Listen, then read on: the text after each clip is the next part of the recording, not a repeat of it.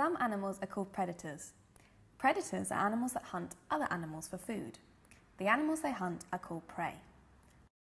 Lions, for example, are predators, and they hunt animals such as zebras and gazelles. These zebras and the gazelles they hunt are the lion's prey. Lions are specially adapted to hunt prey that shares their environment. Predators have sharp claws and teeth to grip and kill their prey. Other predators, such as cobras, inject poison into their prey. It can kill them outright, or it can paralyze them long enough for the predator to catch them.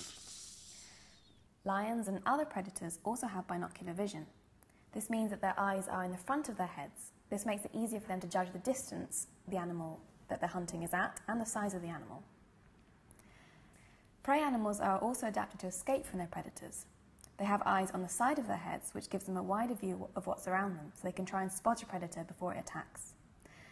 Some animals, which are prey, are camouflaged, and their bodies have patterns or colours that make it difficult for predators to see them. But camouflage can also be used by predators.